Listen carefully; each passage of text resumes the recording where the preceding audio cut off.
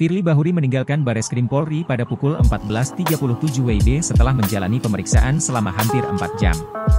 Keluar melalui akses utama gedung Rupatama Mabes Polri yang terhubung dengan Bareskrim, Firly naik mobil Hyundai hitam dengan nopol B 1917 TJK.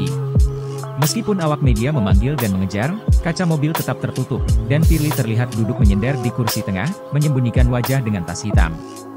Dia tampak mengenakan atasan batik coklat dan celana hitam polos, seolah mencoba menghindari sorotan media.